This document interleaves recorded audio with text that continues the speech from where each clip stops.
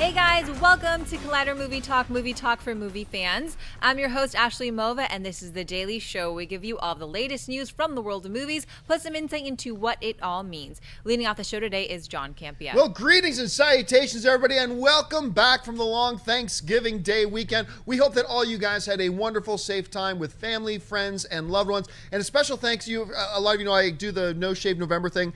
A normal man, this would be three days of no shaving for me. This is a month of no shaving. Uh, special thanks to all you guys on my social media who donated to the cancer uh, research funds. We raised over like four thousand dollars. Thank you so much for that, and we're excited to be back doing movie talk. This is also a few weeks of no shaving for me. Yeah. Also here is Jeremy Jahns. I've been doing no shave November since August, folks. This is the best I got for you. But we're back, a little more full, a little happier, and a bit more douchey hair. Also here, Ken Napzok. Hey, I have I live a no shave life, so this has been what I've been. And also, I grew this this morning just despite John Campea. Glad to be here. I think it's going to be a great show. I promised you to not be a negative Nelly about the Nap Fest that was Fantastic Beasts. I'm going to be happy here today, John. I'm going to be a happy internet person today. We're proud of you, Ken. Also, here's Mark Ellis. Uh, the Death Star balloons behind Kenny is just such a perfect metaphor for his personality. You know, I also participate in No Shave November, but we're not talking about my face. Took you guys a minute on a Monday morning. it- Let's get took me with a the second. It took me a second. I'm not What's gonna lie. that instrument that blue, like hillbilly bluegrass bands play? It's like a, a metal sheet and they rub the thing. That's the sound of him scratching his crotch. I think like that's a saw. day. I think that is a saw. Uh, yeah, hey, got to the. We were in the office this morning, and there was a knock on the door at like eight in the morning, and some delivery guy came and delivered all these Death Star balloons. It's like, Yeah. oh, that's nice. So we got some Death Star balloons, which is perfect. Is there a little exhaust port? Like, like, is there just like a little bit of air escaping from them? The mosquitoes are doing a death run on this thing. Um, so hey, which is per- these balloons are perfect for our very first story today. Ashley, what is that? The marketing onslaught for Rogue One, a Star Wars story, continues as Disney unveiled another extended sneak peek over the holiday weekend. The film revolves around the events leading up to A New Hope, with Felicity Jones playing Jyn Erso, a rebel leader tasked with assembling a team to steal the Death Star plans. The movie is ready for its wide release on December 16th, with tickets going on sale today. John, what do you think of the new extended trailer for Rogue One? Uh, well, first of all, even before I get to the trailer itself, it's funny because last night um, we Ann and I love Star Wars, so Ann gets on even though we're going to the premiere. Uh, on the 10th, uh, Ann jumped online to buy her tickets for Rogue One for opening night because we like going to opening night with everybody too. And she could not get tickets. She got put into this like waiting queue for like 40 minutes and then got disconnected. Tried another site, same thing happened. Tried another site and then she finally succeeded. But I, once again, they broke the internet. Now, it was nowhere near as bad as when The Force Awakens came out because I think a lot of these ticketing sites learned their lesson. They got a lot of technical lessons. They realized, oh, if we do this, and they fixed a lot. And it wasn't nearly as bad, but still, a lot of people had long waiting lines, online long waiting lines to buy their tickets, which I think is very cool that there's still this much anticipation, this much excitement for a anthology movie, basically, that's coming out that's not a part of the episodic uh, thing of Star Wars. So that's great to see. The new trailer, 90, eh, 85% of it is just footage we've seen already, but the extra little few things they put in got me excited. I, I, I cannot believe how excited I'm getting for this movie. I am getting really hyped for this movie. I mean, it's a Star Wars movie, so I was always going to be excited about it. But I am finding myself drooling in the mouth waiting for this thing. So I loved it. I don't know, Mark, you saw it. What did you think? I'm getting pretty revved up for this flick, John, and I'm, I'm excited to meet new characters that are probably going to be dead in the two hours that the movie takes place. But before that happens, I cannot wait to have this adventure where I know a lot of the background for this story. We ultimately know what's going to happen with the Death Star plans, but seeing that adventure take place with humans and droids and space monkeys is very exciting to me. Seeing all the fans last night, I'm sure you guys got it on Twitter too, where they're they're in they, they were in like the waiting room queue, where like Fandango and those kind of ticketing sites created a waiting room. And there's two kinds of waiting rooms in life. There's the nice easy one where you go in, you have a lollipop, you read a highlights, and then you get into the doctor's office. Then there's like the Beetlejuice waiting room where you're like, I could be here for 125 years. That's what it felt like to a lot of fans last night. I hope y'all got your tickets because this is going to be a doozy. Jeremy. Hey, there goes Elvis. Look, hey, get. Just made me think of that for the first time in like 20 years. Oh yeah, I'm looking forward to Rogue One um, more than any movie the, that I'm looking for, I've been looking forward to in 2016.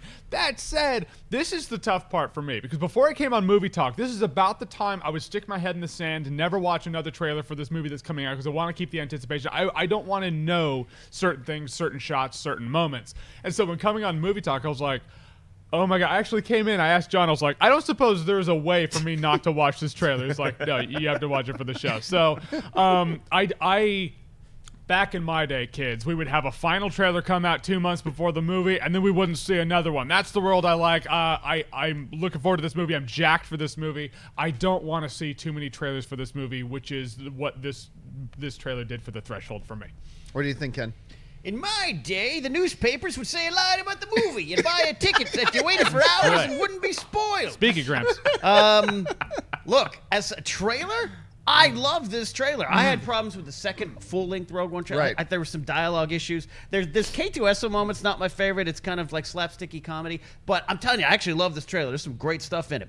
Too bad some of the new footage resolves tension brought up in the other trailers. Hmm. Donnie Yen's in trouble. Baze Malbus is going to save him. That AT-ACTs looks fierce. Oh no, it's gone. So there's some real problems I have with these extra moments, but again, I know the marketing machine we're in. I know people don't know what's going on, and this is cool. There's some cool images and moments and sequences that I'm sure people are like, damn, I'm going to go see this who might not have been opening day weekend people. So it's a win for me. I'm trying not to be the grumpy guy. There's some things I didn't like, but it was overall a great that the the one thing. That is the one thing though about this particular trailer. It's like if in the first trailer we saw that scene where the guy takes the rocket launcher, hits the AT-AT in the side of a head, and then we see an X-wing swoop in and take it out, that would have been fine. But in the first trailer, you just showed us the rocket launch, and then you, and you didn't show us the X-wing, and now you show us the resolution of that scene. Right. It, I think that was a mistake. If it was just the first trailer, I ate it up, and as a trailer, I ate it up. But yeah, I, do, I do kind of wish they didn't put that shot in there, but it is great. because the first time we see that moment, he hits the thing, and, and the AT-ACT goes, eh, uh, and you're like, oh, now, Yeah. now I know that doesn't that how it pays off. But again, I get it. I get it. It's and how I, we have to I market. checked out the trailer that Riley brought up at our pre-production meeting this morning, where it's it's footage you've already seen, but it's just Darth Vader breathing over it, and it's just uh, it's pretty cool, guys. It's pretty. If I could hear one person breathe for the rest of my life, it would be that guy. Yeah, you know what's funny is a trailer for a Star Wars movie at this point is not going to change anyone's mind. If you're gonna go see this movie, you were going to already go. See, it's not like this trailer's going to be like, you know, now, now I'm on board. You know, and if you weren't going to see it, well, then you're you're actually one of the more angry people I know in life, and and no, no more for you. Are you Okay. talking about me? So here's here's the thing. Like with now with this final trailer out, okay, and you guys have seen the final trailer now, and you get an idea about what will the average film fan think about this trailer, and knowing that once again, movie ticketing sites had a problem keeping up with demand last night, we want to ask you guys a question. Go to our Twitter, and our Twitter is simply at Collider Video. So if you go on Twitter, we're at Collider Video. We're going to put up a poll right now, and the poll question is simple: Will Star Wars Rogue One make over or under $150 million on its opening weekend. They said the tracking was at what, like 130 something? I think they mm-hmm. said the tracking was Yeah. originally. So now with these ticketing problems and the final trailer, do you think Star Wars Rogue One will make over or under $150 million opening weekend? That's on our Twitter page right now. Go check it out and vote. We will check in at the end of the show to see what you guys had to say about that. Okay, with that out of the way, Ashley, what's next? 20th Century Fox dropped a pre Thanksgiving surprise for fans of the Alien franchise. The studio unveiled the very first poster for Alien Covenant, director Ridley Scott's follow up to Prometheus. The poster also revealed that Fox has moved up the release date from August 4, 2017 to a new date of May 19, 2017. Michael Fassbender returns from Prometheus, joining a new crew of explorers that includes Katherine Waterston, Danny McBride, and Billy Crudup. Jeremy, what do you think of the new poster for Alien Covenant? That is as uh, subtle an alien as aliens ever been. You see the first alien poster, the first one's just it's the egg cracking, and it's just uh, in space, no one can hear you scream. It's a definite throwback to that. Anytime you have the alien, all like doing his alien thing, that's as alien as it can be. And it looks like this will be the binder that ties Prometheus to the alien movies because uh, Harloff and I got into well, we argued, like actually over the phone. I wasn't here yet, so I'm like, no, Mr. Harloff, it's this. And so we, um, it was whether or not Prometheus is an Alien prequel or an Alien spinoff. I said it's more of a spinoff because there's no real binder to tie in the universe, and even the xenomorph at the end looks a bit different. This one ties it together where it's like, no, it's all part of one saga now. So I think it's great. I think it's a perfect poster for it. The poster is genius, and here's why. One of the big problems, marketing wise, that they had with that uh, first one that Mm-hmm. I didn't like very much with Prometheus. Honestly, it didn't work for me. It didn't click. Visually beautiful, stunning to look at, Yeah. didn't quite work for me. But the marketing problem that they had was a lot of people were very confused about wait a minute what is this movie? Because ridley scott said they were purposely trying to stay away from the hmm. xenomorphs. They don't want to really talk about the aliens per se they wanted a standalone movie. And that caused some connection problems i think with a lot of audience. Maybe some the similar type of connection problems that star wars is having right now making people understand where rogue one fits in to the overall star wars story. A lot of people didn't even know that Prometheus was an alien movie in a way because they were trying to separate it. I think they realized that mistake. How do we know they realized that was a mistake? Because look at this poster. no confusion, no question whatsoever, folks. This is an alien movie, and they're getting in, uh, ahead of it. And I think it's actually a brilliant move for them on that part. I also like that they moved it up for three months. We always get a little bit worried when they hear they push a movie back hearing that they're moving it up, especially to a May release date, that is actually a much more prime date than an August date was. So this is pretty good news all the way around. Mark, what do you think? I love the confidence, man. It's just great to see the Xenomorph back on a poster because you always heard these rumors about, well, Prometheus, it, it, yes, it, it takes place in the same universe, and how Ridley Scott didn't want to involve Xenomorphs in his next film either. That is done, man. And not only do we get a great looking poster, but that May 2017.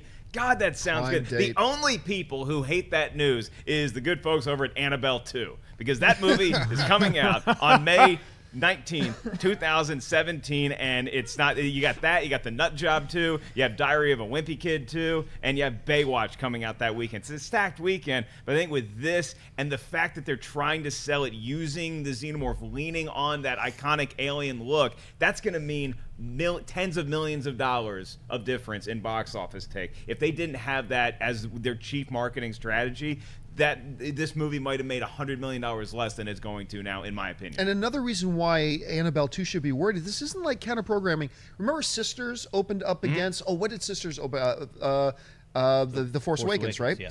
That was actually worked for them because it was counter programming. This ain't counter programming. This is a a lot of the people who would see Annabelle 2 if they were going to go see it are going to be more interested in an alien film. This that's like a double whammy, I guess. Anyway, Ken, what do you think? The teeth, the drool, the words run. This is exactly what Yeah. I use as my Tinder profile picture.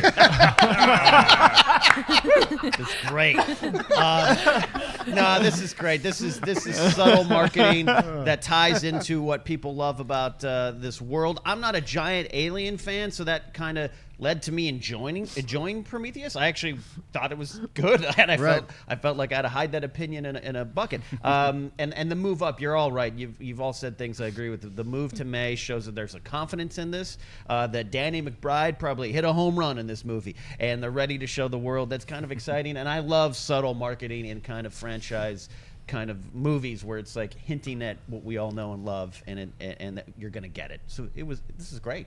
All right, what's next? It's Monday, which means it's time for the weekend box office report brought to you by AMC Theaters. Disney's Moana topped the extended holiday box office, taking in 81.1 million for an easy number one over the five-day weekend. Fantastic Beasts and Where to Find Them took the number two spot with a 65.76 million five-day performance. Doctor Strange pulled in 18.85 million over the five-day weekend for the number three spot, crossing the 200 million dollar mark domestic. Paramount Pictures Allied snagged the number four spot with 18 million over its five-day opening weekend. And rounding out the top five is Arrival. The sci-fi drama took in 15.6 million over the five-day weekend and has made 62.38 million domestic on a 47 million budget. Ken, what do you think about the holiday box office weekend? I think it is a great victory for Disney for making such a, a wonderful movie. And people know I don't like animated movies. Throw that out. I love that what I see here. Um, that it is a victory for a wide story that connects with a lot of people, but also a movie that celebrates a culture that kind of gives it a, a, a, a marketing win that will encourage Disney to do this even more. That's encouraging to me. Fantastic Beasts, no matter what I thought about it, it's a juggernaut. It's going to keep going, and Strange still hanging around, going to make the big money. Those Marvel pictures, they, they know what to do. Jeremy. There's a there's a lot of Disney on that thing, man. There's a lot of Disney a lot of making Disney. some money. You think is that where these Death Stars came from? Where they're like, thanks, guys. Um, no, I, I, none, none of it surprises me. Um, I am glad that Arrival's hanging on in the top five. I really am because I really loved Arrival. I thought Arrival was great, and so I'm glad it's uh, it's on the top five. But everyone played their part perfectly in this. You know, Moana, you have the family movie. All right, Thanksgiving. What do we do now that we're like st- stuffed up on tryptophan and we're passing out? Let's go. Hey, take the kids to go watch a movie. Boom, it was there. Uh, and then if they didn't watch, oh, Moana sold out. It's okay. We have Fantastic Beasts, or you have Doctor Strange. Like none of it's surprising. This is exactly the one, two, three I thought this weekend was going to be, and, uh, and so that's what we got. Thank you for being predictable, America. Uh, what's really impressive is Fantastic Beasts, 39% drop. Just a 39% drop from week. That's with Moana opening up. So I mean, and, and Doctor Strange still being in theaters. That's a really impressive number for Fantastic Beasts. The movie's already made like 470 million dollars worldwide. Just I mean, it, it's crazy. What's that? Fantastic Beasts. Fantastic Beasts, yes. It's already made like over 400.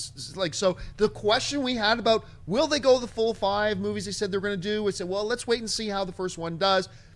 The, the question is now completely answered with an explanation point. They're moving forward with five films. They may even stretch this thing out to eight films. Who knows? as far as Moana goes, I took a little bit of time this week because I love Pixar, you know, so it I think it's my favorite animation company out there. I really enjoyed Finding Dory, but then I saw Ku- Kubo and the Two Strings. And it's like, okay, no, this is my favorite animated film of the year, uh, over Pixar. It, it, it's this.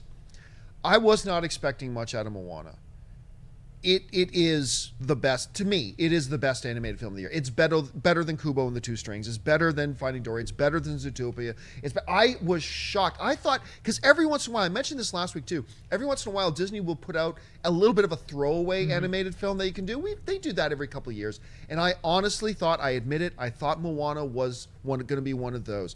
I've seen it twice now. I can't believe how heartfelt it is, how good the music in it is.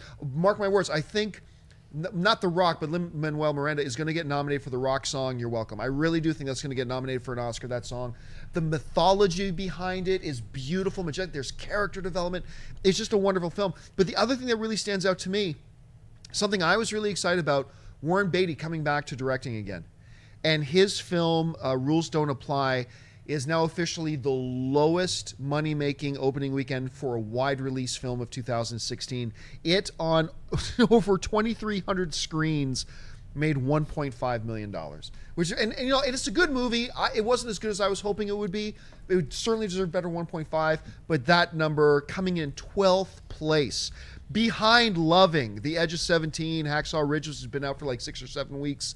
Uh, that's got to be a real disappointment for them. So that's what stands out to me. What about you, Mark? Yeah, that's like Jem and the holograms type cat. Yeah, you know, yeah, it really is. right there. But on the other side of the ledger is the very encouraging Moana. I mean, I wasn't shocked to see the movie do that well because it is a wide Disney release, but I think it's so important to see that it's a new culture represented in a Disney film for the very first time. Is seeing the Pacific Islands and how well they were represented in this movie, and the fact that so many people wanted to come out and check this movie out is really, really encouraging to me. The other interesting thing that I am a little shocked at is Fantastic Beasts and how well that hold up. Like maybe you're like what Jeremy said, and people just wanted to go out and see Moana, and if it was sold out, we go see Fantastic Beasts. But it, I am surprised it's doing that well, and it does look like we're going to get more of those movies. Arrival only dropped seven percent. That is so nice to see a movie that is critically Yep. lauded as it is. It might not be the most consumer friendly film of all time. It's a thinker. You go in, you don't eat popcorn, you eat something smart like a pear, but it's worth it. And a lot of people are going to check that out. I'm impressed. That's what you said though, that, and, and that braced me for it. Before I Yeah. went to see Arrival, you're like, bring an apple. I went to Panera Bread, and they were like, would you like chips? I was like. I'll take an apple. I have a movie to watch. And I watched Arrival and I loved it. Thank you, Mark Ellis. That's why I'm here. All right, guys, we've reached that part of the show now for buy or sell. Here's how this works. In front of her, Ashley's got a few other items in the world of movie news. She's going to run them down. Then those of us at the table are simply going to say whether we buy it or sell it. So, Ashley, what do we got? Paramount Pictures has unveiled a new trailer for the highly anticipated stage play adaptation Fences.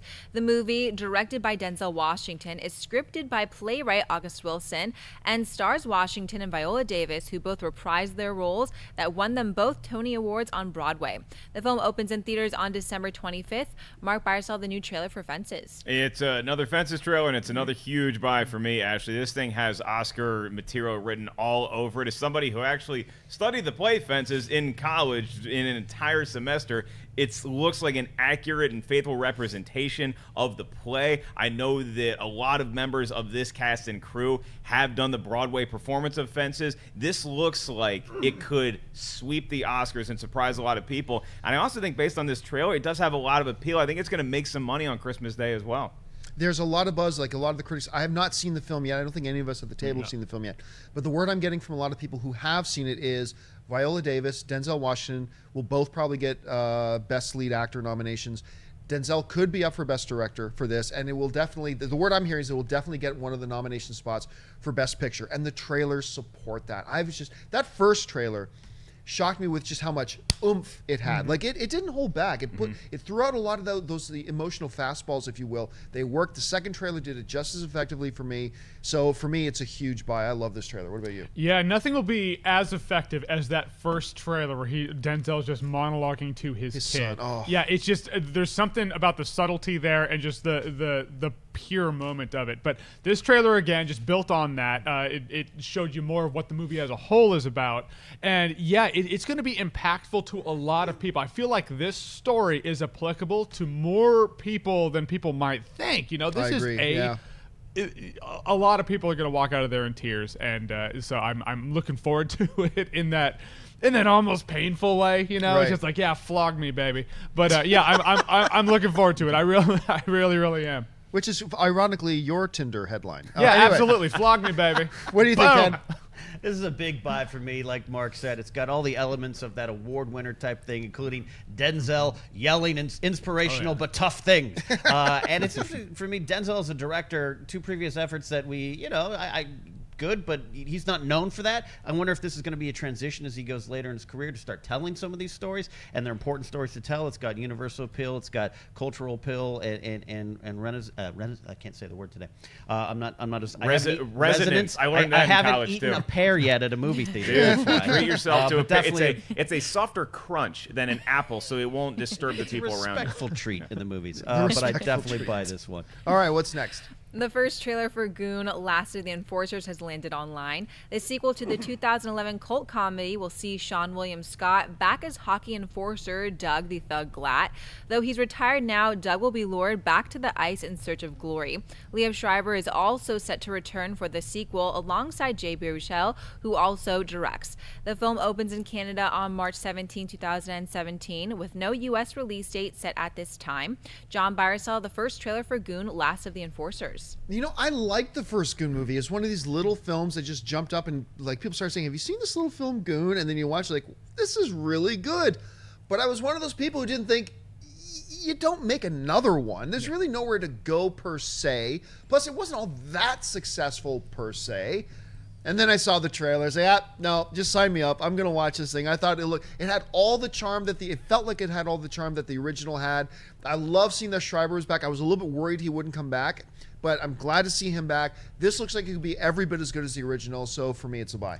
Yeah, you know, my old boss, uh, he was like, every week he'd be like, "You haven't seen Goon yet?" When I worked at the theater, it's like, "You got to see Goon." And next week we go by, it's like, "Did you see Goon over the weekend?" Uh, This went on for months upon months. Uh, he's a big hockey fan, so I mean, he loved Goon. I wanted to see Goon. I, I loved Slapshot. You know, it kind of looked like a throwback to movies like that. Um, never saw Goon. Uh, wanted to see Goon. Loved the trailer for the first Goon. Look, love the trailer for the second Goon. I have nothing attaching me to it, but I am interested to see how uh, Jay Baruchel uh, Yeah, directs as a his director. directorial debut, I believe. So I want to see how he does on that. But I mean, I still want to see the first Goon. Ken, I'm definitely going to buy it. I did watch Goon, and I agree with you guys. It kind of is that sleeper thing. I worry about comedy sequels. Yeah. I think we all, and they're getting the gang back together, but there's a different take on it, and there seems to be a legitimate story here. Last of the Enforcers retired, coming back. Will that you know, will that play out in a, an entertaining fashion? Uh, I do worry about that, but I'm just going to buy because it's such a fun movie. Yeah, but by the way, for those of you who don't know what an enforcer is, and I know a lot of my American friends don't know what an enforcer is in hockey. An enforcer used to be, they don't really exist anymore. An enforcer used to be, let's say you have a superstar on your team. If the other team started to mistreat your superstar, out would come your enforcer. Now, back in the day, back in the glory days of the Edmonton Oilers, when Wayne Gretzky was pretty much the best athlete in the world and just like, doing whatever, nobody, it was an unwritten rule, nobody touched Wayne Gretzky. Now, the Edmonton Oilers also had this big halting dude named Dave Cementhead Semenko, was his name, right? And he normally just sat on the bench. And then somebody would run Wayne Gretzky into the boards, and you knew it. Turn the camera to the Edmonton bench. Over the boards comes Dave Semenko, who would proceed to find the guy that put Gretzky into the boards and beat the living hell out of him. Gretzky loved this guy so much that when Wayne Gretzky won MVP at an All Star game one year, the the, uh, the award they got was like the big new Ford truck. Gretzky took the keys and gave it to Dave Semenko. He is an icon in hockey forever. But anyway, that's what an enforcer is. Mark, you had a chance to see this trailer. What do you think? Oh, it's a giant buy for me as well, John, because what I appreciate about the first Goon movie, which was the best sequel to Happy Gilmore we could have ever hoped for, it was like Happy's back on the ice playing hockey. I put that on. Christian and I watched it on VOD when we were just starting the Schmoes channel, and it was such a surprise. We were just laughing for two hours, and it did what I wanted it to do, where it wasn't just making fun of, like, oh, let's see how many people we can beat up, and let's make this movie like Jackass. It did stress in a very funny way that there's a code of chivalry amongst enforcers, like what you were talking about, John, mm-hmm. where it's not dopes like Marty McSorley who take it way too far. It's people that have a role to play on their team, and when that's no longer there, bringing somebody back like Seann William Scott's character, the casting in this movie, top to bottom, looks so appealing to me. I'm a big fan of Wyatt Russell. All of a sudden, Kim Coates looks perfect as the coach again. Yeah. This is going to be a sleeper surprise, and I think it's going to be one of those rare comedy sequels that actually works. It, it should be noted, Jeremy and I were brought into Collider about the same time. I'm the enforcer for Jeremy Jahns. Yes. yeah, it's Come totally at true. Jeremy and his pretty YouTube hair. I'm going to take you out. All right. Hakuna Matata, baby. Hakuna Matata. All right, what's next? In addition to moving up the release date for Alien Covenant, 20th Century Fox has also set a new release date for the Kingsman sequel. Kingsman The Golden Circle has been pushed from June 16, 2017 to October 6, 2017, squaring off directly with Blade Runner 2049. Fox has also snagged November 2nd, 2018 and February 14, 2019 for two new yet to be titled Marvel movies. Also of note, Fox has reserved December 21st, 2018 for an untitled Lightstorm production. Lightstorm is James Cameron's production company, which is expected to distribute the Avatar sequels, so this might be confirmation that the long in development Avatar 2 finally has a release date locked. Mark Barisell that the December 21st, 2000 2018 release date Fox set is for James Cameron's Avatar 2. I am running low on cash because I bought everything so far, and I'm going to spend the rest of my money on this being the release date for the new Avatar movie. Because it makes sense if Avatar is going to be in some sort of power struggle with Star Wars wrestling over, dominating the holiday season, where you're going to get the Han Solo spinoff movie in May of 2018, and you're not going to have a Star Wars movie, as far as we know, coming out that Christmas. So now Avatar can come in and be that big special effects blockbuster that everybody hopes it's going to be. The interesting news to me is Kingsman moving its release date, giving it a little more time to breathe. Maybe it's Yeah. just scared of Alien Covenant. We don't know. But going back to October, I don't think it's going to have any problem with Blade Runner 2, and it's going to be the hit of that weekend. Uh, I'm gonna sell this. I do not look. Do I believe that that May 18th date is the Avatar sequel? Yep, I do believe it, but it ain't gonna happen until it actually happens. I do not believe it's gonna happen. Remember, um, Alien. No, sorry, not Alien. Um, Avatar 2 was supposed to come out in 2014. it was then pushed to 2015 and then pushed to 2017 and now they're talking December 2018. And I, I'm sorry, look, I, all the respect in the world. I love that James Cameron is wants to do it right and nail it, and I think that's the best thing to do. But until I buy a ticket, I do not believe anything they say about this movie having an actual release date. I expect it to be pushed to 2027 at some point. Anyway, Ken, what do you think? Uh, I'm going to sell. I try. I want to come on here and create some drama and disagree with you here, John. And go, no, but you're right. Because Cameron's gonna. Ah, the blue creatures ain't. They ain't looking normal. I can't. I gotta fix it. And you know what? I don't think that Han Solo movie stays in May. I think Rogue One sends that Han Solo movie to December. I think they want to. I think they want to spread out the marketing, the money, and everything. And I think Han Solo takes on James Cameron, and uh, that's why I'm still. I just don't worry about release. Well, dates. do you think if they move Han Solo to Christmas 2018, Yeah. that might be time for James Cameron to be like, I'm just gonna, I'm you gonna- know what, you know Again? what? February. Yeah. yeah. yes. Yeah, that, that's what's going to happen is that they're going to move Han Solo to December. and James Cameron's going to be like, well, I was going to come out with it. Now it's 2027 because of Han Solo. And there's going to be a reason for it. It's so funny the fact that it's like, oh, this this movie that it's an it's an unknown James Cameron movie. It's Avatar 2 because it became Avatar 2, and then it was like, all right, I'm going to make two sequels. You're going to make two, so it's going to be a trilogy. Yep, all three of them. All three movies? No, three sequels. You're make you're making three sequels? All four four sequels. There's, we're now going to go five sequels. I mean, it just exponentially jumps, and I agree with you. I'll believe it when I'm in the theater, not when I buy the ticket. Yeah. When I'm sitting in the theater and it actually comes on, and I see the like blue people fighting, I'll be like, "Oh, it is Avatar. That's awesome." Here's what I don't want to see happen though. Like if you need to move up that release date because the movie's not ready, that's fine, or because you're concerned about if Han Solo gets put on that, you don't want to tangle with Star Wars. Don't give me the excuse that we're waiting for that you know BS 3D technology, the nude 3D where it's like you know in 5D or whatever the hell, like the the the tails actually come out and tickle your nose. I don't want to have that be the reason why they push it. Mark Ellis, I, I love that you're asking for honesty among Hollywood. I Bless want you. honest. So I where- want answers. So then, where would you like the tail to come out and tickle you? I'm just, I'm just curious. At the part where I don't shave for No Shave November. On that note, we do this show live every day. So if you're watching us live right now, we take a little bit of time at the end of the show to take some of your live Twitter questions. You can jump on Twitter right now. Make sure you're following us at Collider Video and start tweeting in your questions. And Wendy will pick out a couple to ask at the end of the show. I want to remind you too that Movie Talk is not the only show that's here on Collider Video today. A little bit earlier today, our newest installment of Crash Course dropped, and it is everything you need to know about Star Wars Rogue One before seeing the movie. Our very own Christian Harloff hosts that one. Go and check that out, comment on it, and share it around. A lot of people already have. I also remind you that TV Talk drops today at 5 p.m. Pacific Standard Time. And also, the newest episode of our Walking Dead recap show went up last night. You can find that on our channel as well. Well, with that out of the way, it's time for mailbag. Listen, guys, if you've got a topic or a question you'd like us to address on the show, just email us anytime at collidervideo at gmail.com. Ashley, what have you picked out of the mailbag today? Zach M writes, Hey Collider crew, love the show. My question is, what would you guys like to see in a Mad Max Fury Road sequel? George Miller has expressed interest in making more Mad Max films, so what would you like to see? Would you like a sequel to explore more of Max's backstory, perhaps his wife and children that are briefly seen in flashbacks in Fury Road? Or would you like to see a Furiosa spin off, considering most people felt she was the strongest character in the film? Thanks and keep up the great work. I'm one of those very rare and unpopular people that I didn't flat out love Mad Max Fury Road. I really enjoyed it. Like, if you had to break everybody into two camps, did you like the film or dislike the film? I'm one of the people who liked the film. I enjoyed it. I thought it was quite good.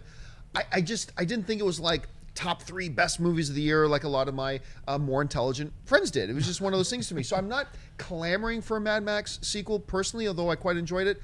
But if they were to do one, and George has come come back, I am far more fascinated with the Furiosa storyline because she's the only one that they give a real potential mythology behind like with the tribe that she comes from and all that kind of stuff they introduce a lot of things that you could explore more not in a prequel sense but moving forward so if they were to do it i'm i'm with you i believe the furiosa one is the thing that would probably get my attention most in this world jeremy what about you Absolutely. Uh, yeah, I'm one of those people where uh, if you want to explore the backstory of Mad Max's uh, wife and son, I suppose you could watch the original Mad Max with Mel Gibson. It does that. So at that point, do I want a remake of Mel Gibson's Mad Max or do I want a Furiosa movie? I want a Furiosa movie. I just hope they don't try to go like, oh well, let let, let let's explore before she was a warrior when she was. I I, I don't really want to know too much of that. Just give Furiosa her gun and her robotic hand and have her go out there and straight up just tear up tribes and and and shitheads. Let's do that. So yeah, Furiosa movie for sure. ken I would like them to choose a direction and just keep going and not turn around at any point in the movie. Just Ah, kind right. of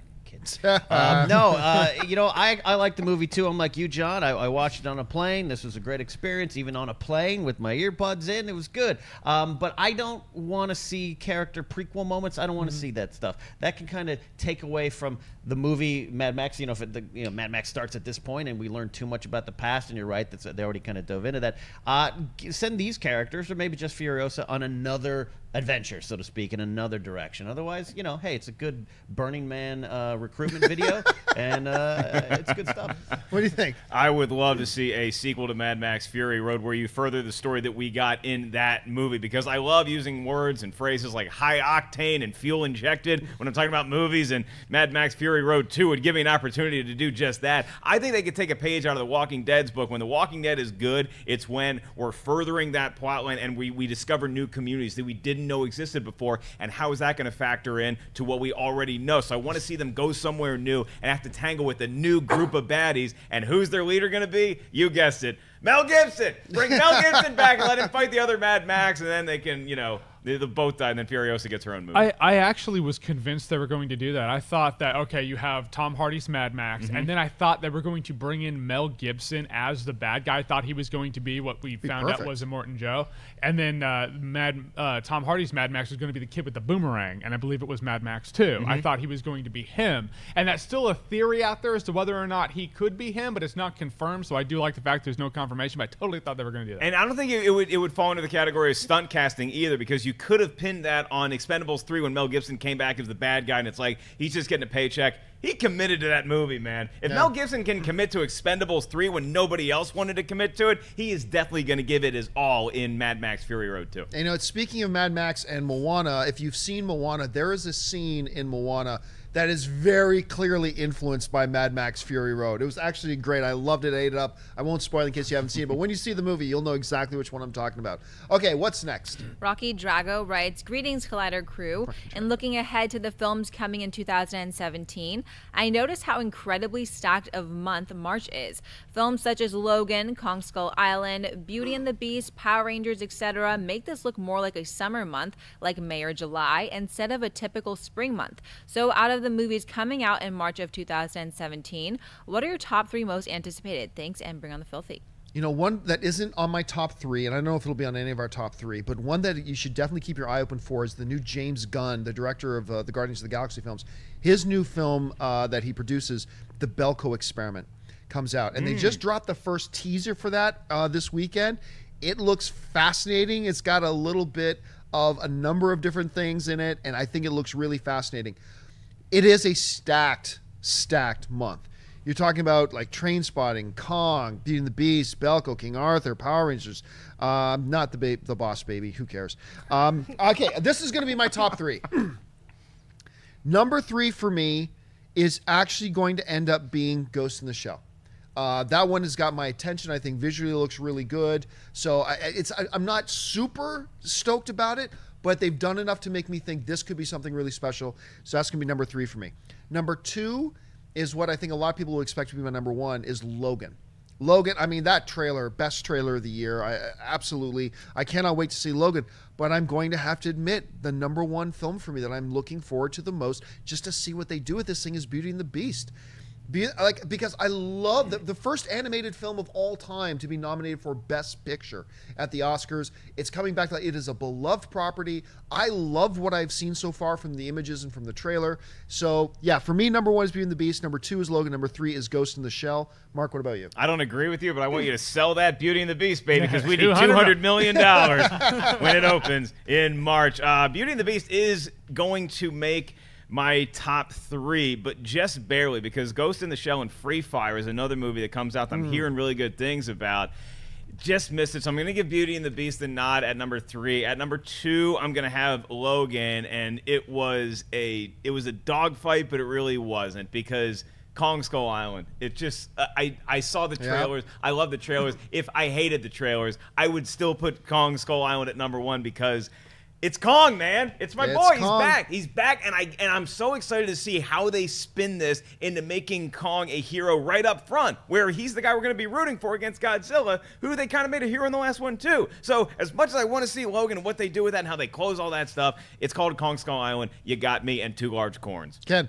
Um, that, th- March, what a great time to be movie fans because Yeah. March is now a battlefield. Um, for me, I'm going to go one to three. Number one, uh, Logan. I just the Johnny Cash trailer got got got me in, pulled me in. I like kind of the darkness. Um, you know, I don't like the superhero movies kind of get, get predictable to me, and this one just seems like a different take on it. And I like the idea of an old Superman, old man, old super, old, old superhero. old man Logan's got me intrigued. Number two, actually, Trainspotting too. Man, choose life. Man, that movie came out at a very important time in my life. It was a movie when I was in film school. I want to see is it worth it 20 years later?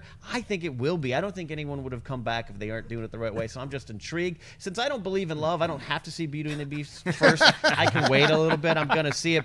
Number three, this sounds like it's a joke pick, but it isn't. King Arthur, Legend of the Sword, because I'm a big King Arthur Pendragon fan. I, I read a lot of books, love the myth, and I don't think they're going to get it right again. And I want to see how bad it is. Uh, and I have some hope that maybe it could be good. I'm not rooting against it. I want a good King Arthur movie. The Clive Owen one uh, from a few years ago wasn't as bad as I thought, but still wasn't there. I still think we can get one. I'm going to be there. May see I remind you Yeah. that Kong Skull Island features Kong?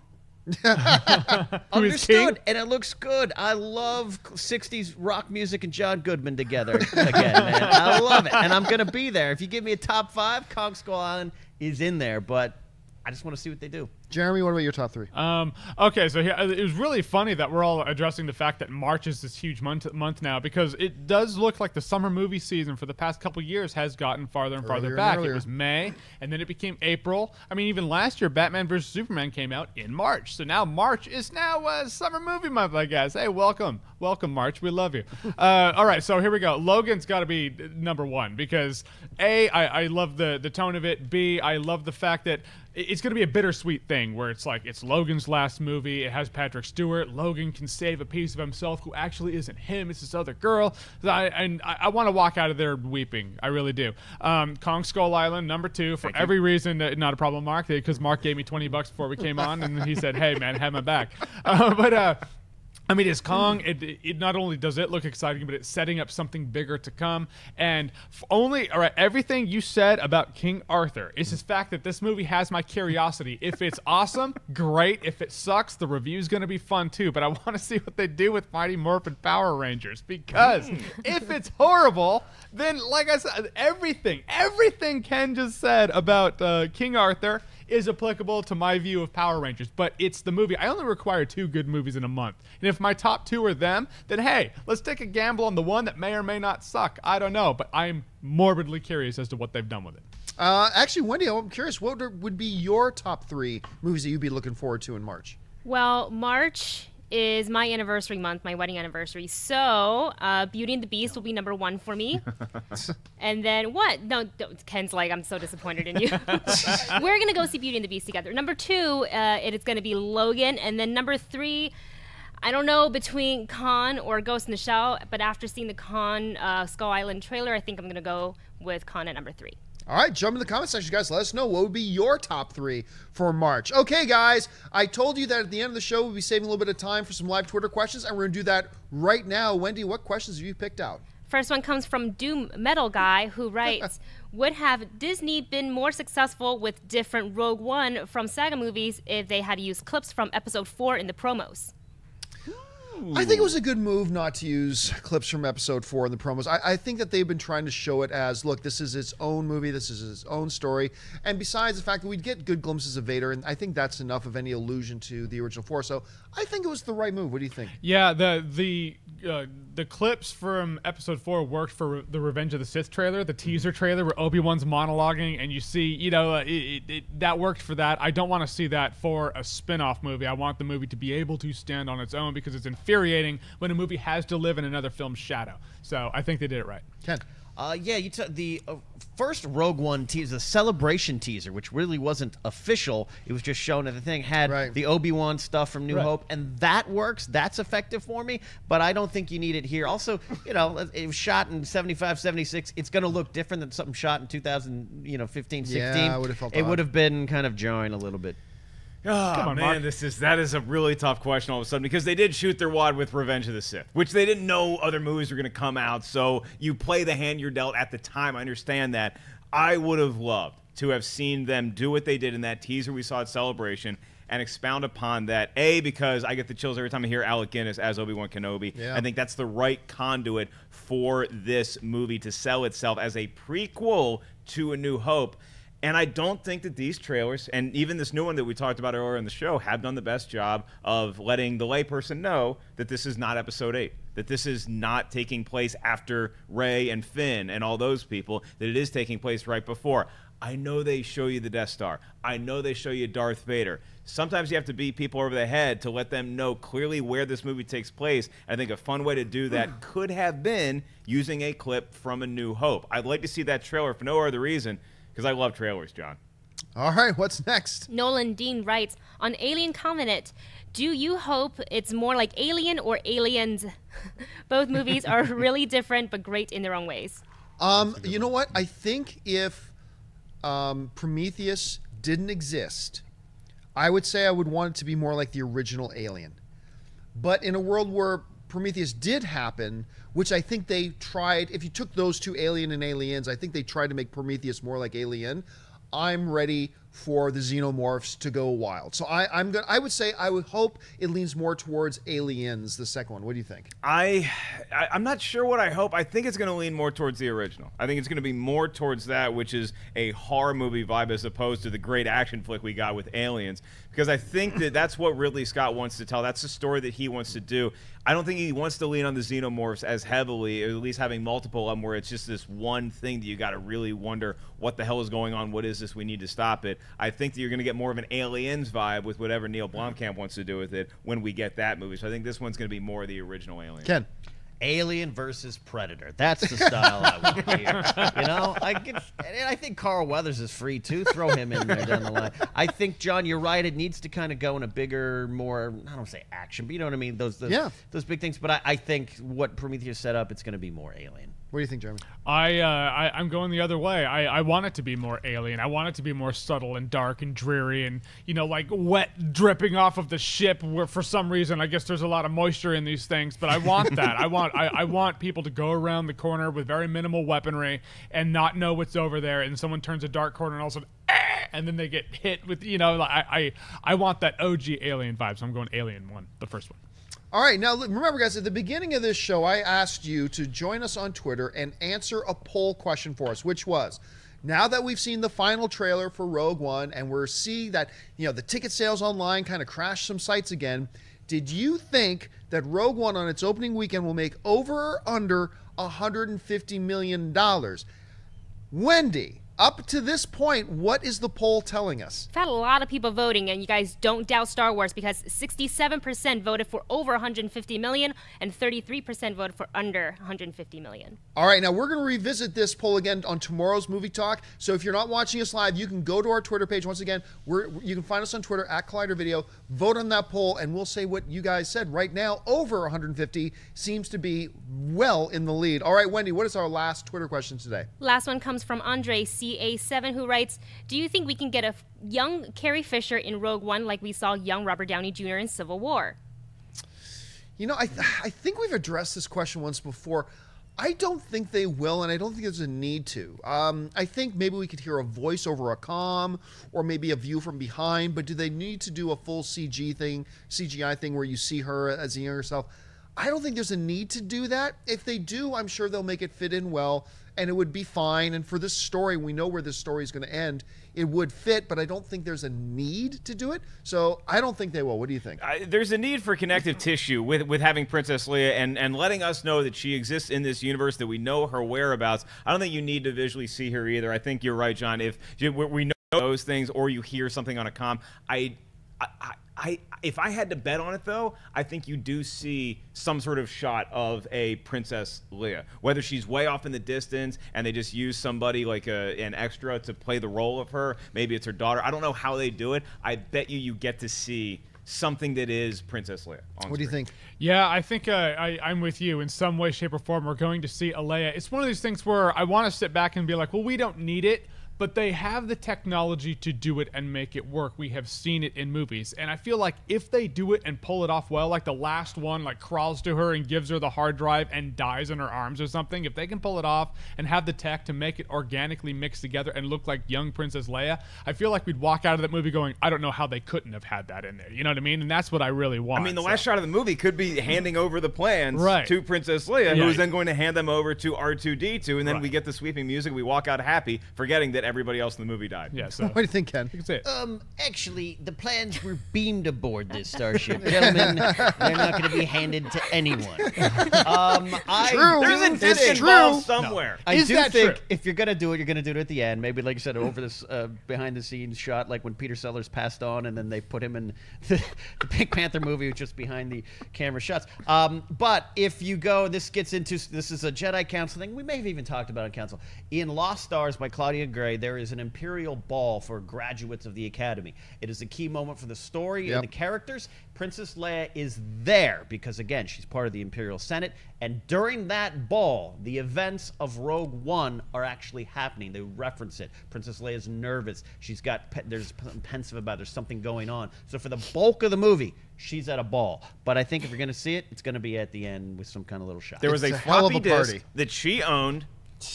They beamed the, the plans aboard, like, like you would send me a document. you put it on a disk drive. It got beamed, and then Captain Antilles downloaded it into a Windows 98 CD-ROM. Uh-huh. like, give it to R2. I do have to address, like, was it really beamed on board her ship? That's Yes. the lines they say. Yeah. So Yeah, okay, space so it- internet. It, was beamed, SpaceNet. and then they're like, "All right, we're getting boarded. Should we beam the plans somewhere else? No, we'll put it in a droid." Don't question They could have been logic. intercepted if they tried to Yeah. beam them off. They had to physically protect it. Well, the way it works is you can intercept, but it- it just really makes a. cut. I I feel. I, they need to physically give it to her. It's in breaking order for Jeremy's In order for Star Wars to make if, sense. if if you are not deleting the text that you send on a weekend, be, you need to start doing that because the NSA is watching you, and your goon isn't going to save you from all the information they're going to release. What did you always yourself. say? What best friends do?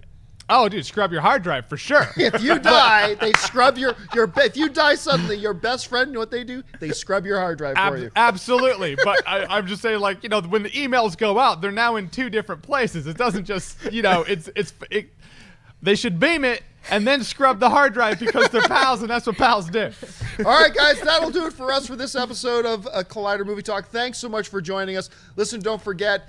Lots of other shows on Collider right now. Head on over to our YouTube channel. Take a look around. Lots of great stuff, including the newest crash course video of everything you need to know about Rogue One before going in to see the movie. That one is up right now. I want to thank all the guys sitting at the table with me. First of all, sitting over there, Mr. Ken Napzok. Ken, where can people find you? Uh, you can find me at Cat Apps. Like, you know, there's a rumor going around that I hate a lot of things in the movie world. That's not true. I once watched Pretty Woman five times in Yes, one you day. did. Yes, I love did. that movie.